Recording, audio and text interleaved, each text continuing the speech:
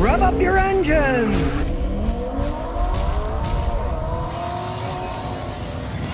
Well, here we go again, the government giving our taxpayer money to corporations. Now, in Michigan, Michigan economic officers, government officers, are raising questions at Ford because now they're demanding another 750 million bucks for building battery plants for electric cars in Michigan. Now, they've already approved a $200 million grant to Ford for this battery plant in Michigan and a 15 year tax abatement for making this battery factory in Michigan. And that abatement they figure is worth 772 million. In other words, they don't have to pay taxes. We got to pay our taxes, give the money to Ford, but they don't have to pay any taxes, right? For 15 years. And another $36 million to prepare the site for building the factory. This is unbelievable. Our taxpayer money is just going to these companies, right? To prepare the land. Hey, isn't that kind of their job? They're making a factory, right? But now they say they need $750 million more. And they're asking for it. And here's what they say. You can't believe this stuff. I mean, it's it's comical, right?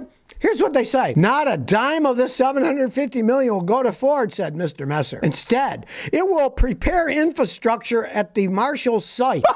well, preparing the infrastructure. They got all this other money. Now they need 750 million more to prepare the infrastructure of our taxpayer dollars. You know, it's unbelievable how it got to this level. These corporations are getting our taxpayer money to do their own business. And then they got already got all the well, we need 750 million dollars more, you know. All this baloney about electric stuff is going to work and it's going to be cost effective. Look, they're already taking the money from us and then they want $750 million more. And what do they say to the people of Michigan? Well, if you don't do this, you know, we're not going to build it. You won't get any jobs here. So they're putting the flame to their feet to try to get them to move, to give them even more money, $750 million more. It's unbelievable the collusion these companies have with our money that we pay to the government. Alex says, Scotty, I bought a Honda Civic 2.0. Is it reliable? They're pretty reliable. The two liter engines in Honda are probably one of the best engines they ever made. They really made good two liter engines, right? Honda makes great engines, anyways, but I'm not a fan of, you know, 1.4, 1.5 liter turbo little engines. They blow up. But the two liter engines are much stronger engines. They don't need a turbo on them to get enough acceleration. So I like long life out of my machines. Hey, let's face it, we're not driving race cars. We're driving transportation devices. You get something that can last three, four, five hundred thousand miles. Why would you want to replace it with a smaller engine with a turbo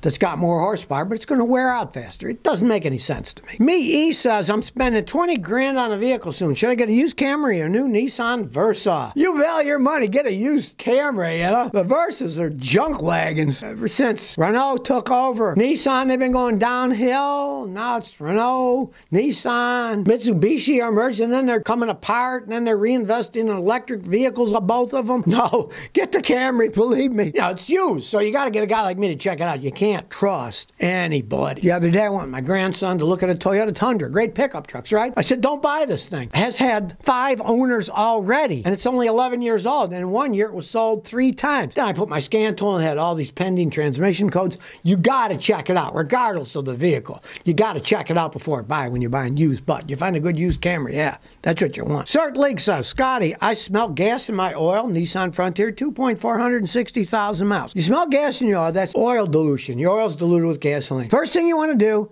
is check all the spark plugs. They should be kind of grayish colored, whitish colored. If you see one of them or more are black, you probably got leaking fuel injectors, and you might want to first clean them. That might help, and then replace them if that is the case that they're leaking. You also want to check the fuel pressure regulator. If that's broken, it can ram too much fuel into the oil system. I'd start there because you don't want to have oil dilution. That ends up ruining the engine, ruins the catalytic converter. You know, if you're talking about something with 160,000 miles, you're not really going to rebuild the engine and stuff like that. It'll cost too much money. So find the root cause. And pray it's not the head gasket starting to blow, because if it's starting to blow, you'll get fuel and oil mix, and then you got to rebuild the engine and something like that's probably not worth rebuilding. George Strobel says, Scotty, why do you think Toyota doesn't make a bigger 2500 3500 truck? Thanks. Toyota doesn't make that much money making their big giant trucks. That's not their game. They're really not competing against GM, Ford, and Ram trucks. Ford sells so many more trucks than Toyota does, the big trucks. Toyota's bigger seller is their Tacomas, which used to be a small truck and now it's a mid-sized truck. And that's more their game plan. They're not into big giant trucks. I mean, look at Toyota. They're proving it because their Tundras now are now only available with a V6 engine. They scrapped the V8 in them, so they're going the opposite direction. They'll never make a big one. It's not their forte. That's not something that they've been into. It wasn't until just a few decades ago that they made V8 trucks. They started making them in the old forklift factory in Indiana. I saw the first ones in Houston when they had a show. They invited me. I looked at it. I said, oh, Toyota's making a V8 truck. I bet they sell them. And they sell them, but they're not competing against all the big three in the United States because that's not their ball game. Mr. Zunderat says, in your opinion, which state has the worst drivers? Oh my God, there's so many bad drivers. It is hard to say. I have to say the most obnoxious drivers are Massachusetts. Around there, people call them masshole drivers. they will climb up your butt on the highway, get an inch from your bumper, and then if you finally get out of the way, it doesn't matter if you're doing 80 in a 60 zone, they'll get out of my way, here I come. And then somebody will climb up their rear end doing 100, wanting to get by them. I have to say, they're the worst drivers I've probably ever seen in terms of being obnoxious.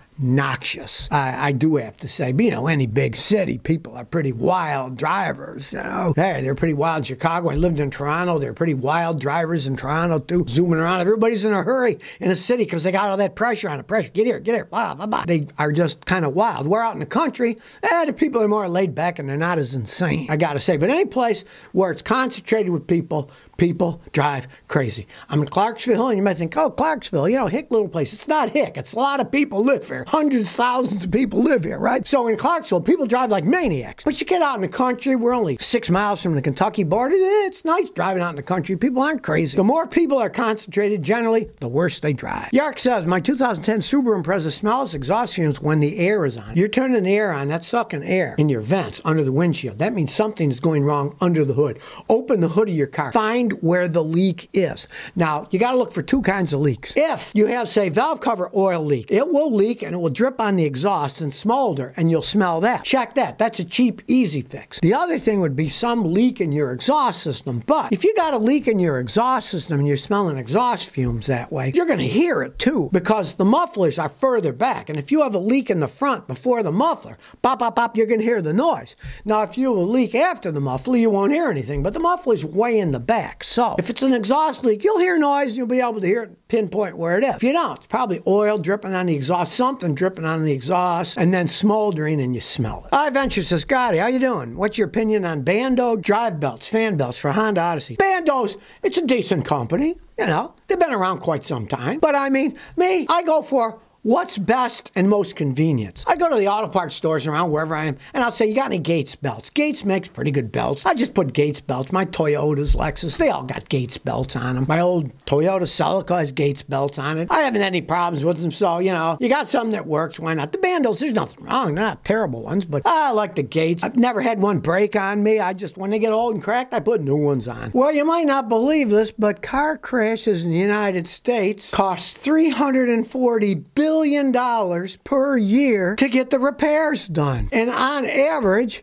it costs the average American $1,035 per year, even though you're not in the wreck. Here is the problem. An average of 23 million vehicles are in wrecks, right? But it turns out that two thirds of this cost is paid for guys like you and me, if you're like me and a good driver, who never get in wrecks. They just raise the insurance rates to make us pay for what other people are screwing up on. And it's bad enough that the cost to repair them is $340 billion. Now, this is in 2019. That's last year they have data for it. But an additional $261 billion is lost due to job time loss, towing, everything else that's involved with the wrecks. Learn how to drive. Don't use your cell phone when you're driving tweeting, whatever, looking at videos. Interesting enough, only 12% of the accidents are on the highway. 53% are at intersections. 53%. So when you come to that intersection, take heed of the signs. If you're sitting there and it's starting to turn green from red on the other side, don't step on the gas like a maniac. Look both ways. I was almost flattened in Houston once, turned green instead of stepping on the gas. I looked, here comes a guy three seconds later flying through the red light. Probably would have killed me, right? The most dangerous place is in intersections. 53% of the accidents occur at the intersections. Some people don't even know what the law is. So learn about this stuff. Don't get caught in an intersection where 53% of the wrecks occur.